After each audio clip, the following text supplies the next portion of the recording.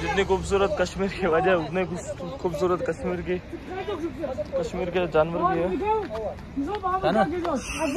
আকবর